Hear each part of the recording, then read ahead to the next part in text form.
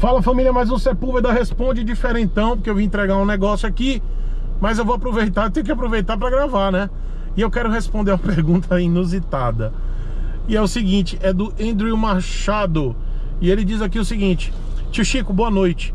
Estou entrando em contato, pois meu pai está com uma dúvida muito grande. Eu sei que você pode ajudar muito. Então vamos lá. Meu pai tem 45 anos e tem um ano e meio que tirou a sua habilitação tirou habilitação para veículos automotores.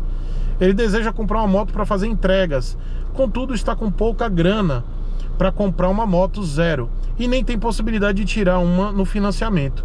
Então nossa dúvida é, quais motos até 5 mil reais você indicaria para comprar que atenderia o propósito de entregas? Observação, somos do Espírito Santo, ele está pesquisando já um mercado de seminovas. Eu tirei logo da cabeça dele a C-Bomba. é a CB300, tá pessoal? É, assim que ele mostrou interesse em algumas, algumas C-Bomba. O pai do Andrew, sai dessa, cara. Mas enfim, eu vou, vou, vou continuar aqui. E ele finaliza aqui o seguinte: Gostaria de deixar bem claro que você é fera e com certeza me inspira muito no motociclismo. Um abraço de todos os capixabas raízes do motociclismo. Legal, Andrew, beijão. Simbora, vamos nessa. Deixa eu dar uma resinha aqui. Eu tô aqui parado, mas tô voltando para casa agora. Demorei nem já fiz a entrega que eu tinha que fazer. E não demorei nem cinco minutos. Então agora estou rumando para casa. Então é o seguinte. Pai do Andrew. Andrew, coloca teu pai para assistir esse vídeo, tá?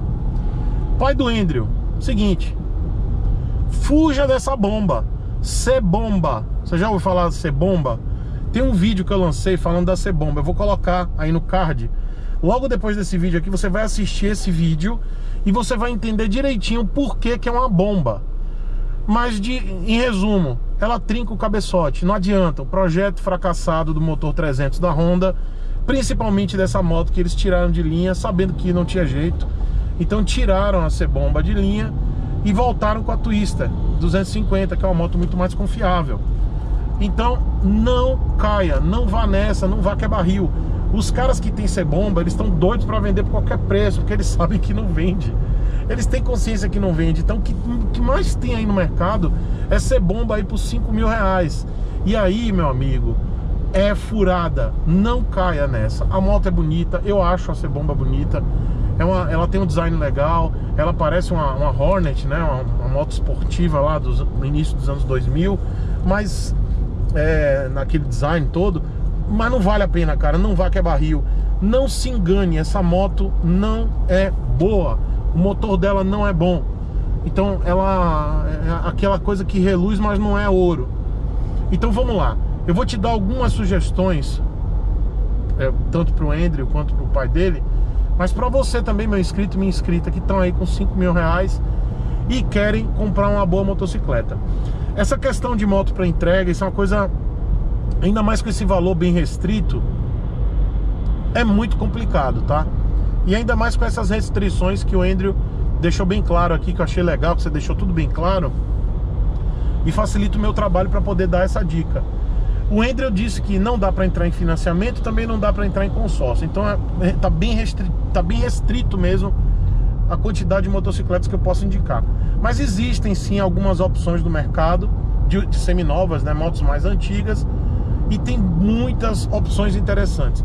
A primeira opção que eu te dou de moto excepcional que hoje dá para comprar na faixa aí, duas motos excepcionais que dá para você comprar na faixa aí de 5 mil reais, que é a GSR 150, tem é, a GSR 125 também, mas eu recomendo mais a GSR 150. Ela tem um motor excelente, ela é da Suzuki, mas é fabricada pela Hauju, né? Mas ela vem para cá para o Brasil ainda sobre, sob a marca Suzuki. É uma moto que tem um acabamento espetacular, muito bom, cromado, o painel é muito completinho, tem marcador de marcha. É uma moto linda, linda, linda, linda, com cromos e acabamentos muito interessantes e não e não não perde o acabamento, tá? Não não fica, não perde o cromo nem nada. A moto é muito bem construída.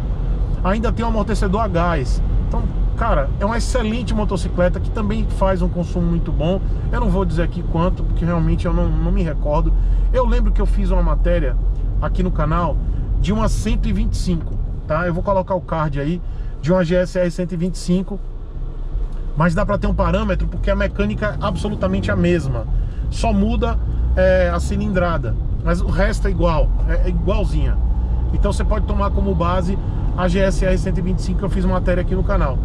Essa moto é, é, é muito boa, a mecânica dela é muito durável, é moto robusta e você acha aí nessa faixa de 5 mil reais. Dá para trabalhar, dá para você passear com ela, então é uma moto excelente. A segunda que eu coloco, mas eu não coloco só a, a GSR 150 como é, o primeiro lugar não, eu coloco junto em primeiro lugar a Intruder 125. É uma moto comprovadamente também é uma moto da Suzuki, também fabricada pela Haoju, mas que veio sob a marca Suzuki.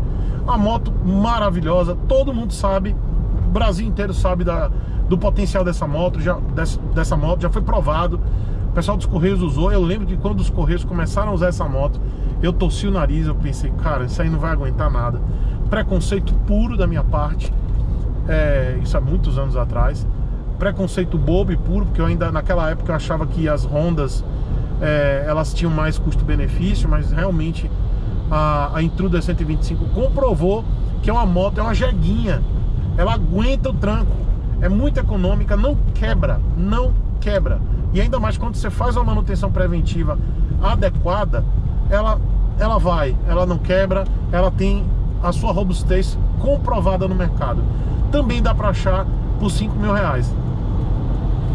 Outra moto muito boa, é, que é a YBR. Dá para achar a YBR mais antiguinha, né? São motos mais antiguinhas, mas a YBR da, do Picolé de Chuchu dá para achar também é uma moto mais espartana, mais rústica, mas dá para achar. É moto também muito robusta, com muita qualidade, assim como a IS da Suzuki, que também é uma moto é IS 125, uma moto aí que foi vendeu bastante, foi muito boa no, no seu período, também muito espartana, muito dura, muito eu não, eu não vou falar assim, vibra, porque, pô, bicho, tá falando de uma moto de trabalho, entendeu?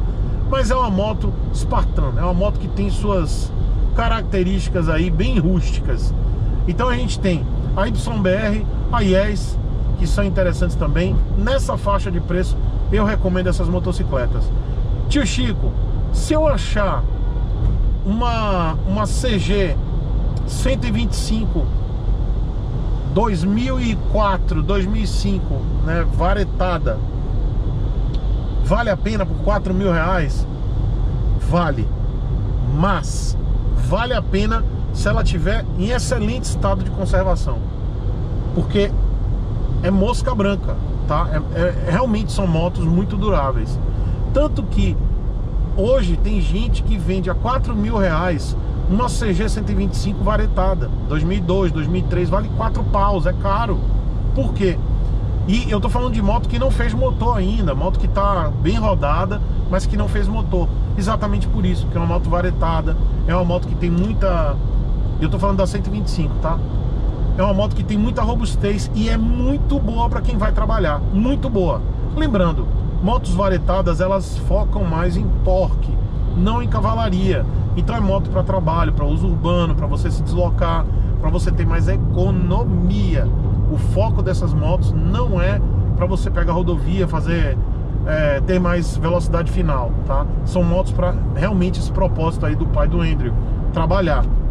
Então recomendo sim, se você achar uma CG 125 varetada 2002, 2003, 2004, show de bola, mas e aí eu vou repetir agora. Repetir o que eu sempre falo aqui no canal, mas que eu não falei ainda nesse vídeo. Todas essas motocicletas, todas, sem exceção, nunca feche negócio sem antes levar para o mecânico de confiança. Ele é que vai avaliar a motocicleta. Você pode olhar uma moto que está toda bonitinha, está pintada, está bem conservada, é, visualmente ela está linda, mas ela pode ser uma bomba, tá? Uma bomba e uma bomba gigantesca, tá? porque você tá com dinheiro muito suado, muito guardado, né? 5 mil reais, aquele dinheiro bem suado, e você investir numa moto que vai lhe dar só dor de cabeça, é barril.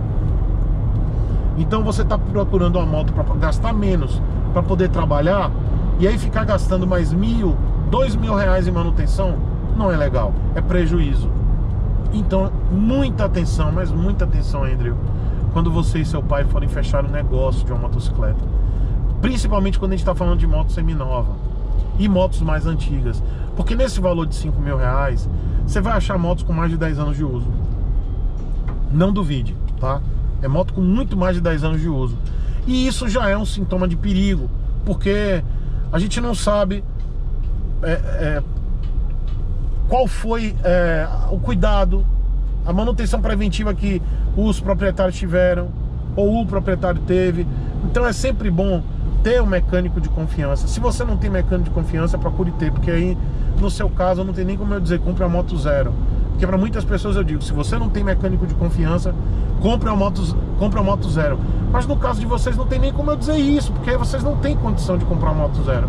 Então vocês têm que realmente conversar com amigos, buscar um mecânico de confiança, um mecânico de nome, que seja honrado, que seja honesto, que possa te dizer, não, ó, essa moto tá boa, você vai gastar tanto. E não adianta o proprietário da moto levar pro mecânico dele não, tá? Leva pro seu mecânico, o seu. Outra coisa, se o proprietário não puder levar a moto lá para o mecânico de vocês avaliar, você contrata o mecânico para ele ir no local e aí vocês têm que pagar o mecânico, tá? Porque é a hora de trabalho dele, nada mais justo. Então pega o mecânico e leva lá no local onde está a moto. Se vocês virem 10 motos, vocês vão ter que falar com o cara e levar o cara lá. É isso, é trabalho. Todo mundo precisa ganhar para trabalhar. Mas nunca deixe de levar a moto para uma avaliação de um mecânico. Tá certo? Por último, um plus. Dá para achar por 5 mil reais uma moto excelente. Você vai ter um consumo um pouco mais elevado, mas você vai ter aí uma moto que dá até para rodar numa rodovia, fazer viagens, que é a CBX 250 Twister. E aí dá para achar 2006, 2008, dá até para achar, dá para achar, tá? No seu estado, dá até para achar uma Tornado por esse preço aí, mas é muito difícil, tá? 5 mil reais talvez você ache uma Tornado toda escalifada, mas é muito mais fácil você achar uma Twister 250, uma CBX 250, Twister ainda carburada, por 5 mil reais, dá para achar, é uma moto que tem uma mecânica hoje bem acessível, não é cara, é, o consumo dela com garupa vai para 25 km por litro, cai bastante, mas quando você, desculpa, acho que cai para 20, desculpa, 20, mas sem garupa você tem um, uma, um consumo de 25 km por litro, tá? Com garupa cai para 20. É, é, um, é um empecilho para você que quer trabalhar, é, mas aí você tem uma moto um pouco mais robusta, você tem uma moto com acabamento legal, um painel legal e hoje a manutenção dessa moto também está muito acessível. Então vale a pena também pensar e procurar uma CBX 250 Twister, tá bom? Então vamos lá, recapitulando: Suzuki GSR 150 ou a 125, Intruder 125 da Suzuki, Yamaha YBR, é... Suzuki S e CG 125 varetada, tá? E por último, né, um plus aí, uma CBX 250 Twister. Dá para comprar nessa faixa de 5 mil reais. Minha sugestão, junta mais um pouco, junta mais 2 mil reais. Vocês vão conseguir comprar uma moto um pouco mais nova, tá? Junta mais 2 mil reais. Faz um esforcinho.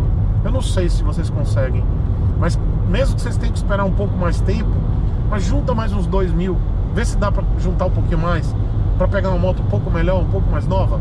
Tenta aí. Se der, melhor. Se não der, vai nessas aí que eu te disse, tá bom?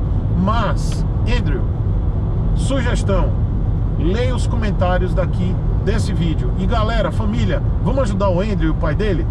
Deixa aqui o comentário de vocês, deixa a opinião de vocês. Eu quero saber qual a sugestão que vocês têm a dar de qual motocicleta até 5 mil reais para que eles possam fugir da C-bomba. Fuja da C-bomba. Nada de comprar essa bomba, tá? Essa moto é uma bomba, tá bom? E aí, por último, é, eu vou deixar vocês aí com a musiquinha, tema, que é de uma outra moto, mas serve aí para essa também, tá bom? Um beijo para vocês, participe da rifa, é até o dia 10 de maio a venda, aproveita, tá bom? Eu acho que eu vou colocar esse vídeo no domingo, é, é, hoje é o último dia, tá bom? Hoje é o último dia, então aproveita, tá certo?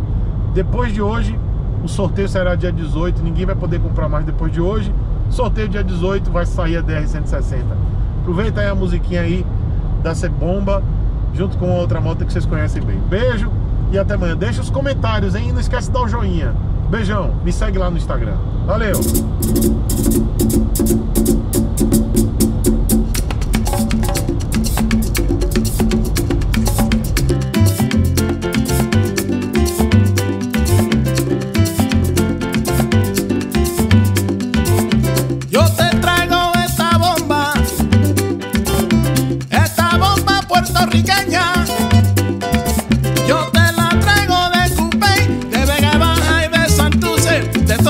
tú eres Puerto Rico.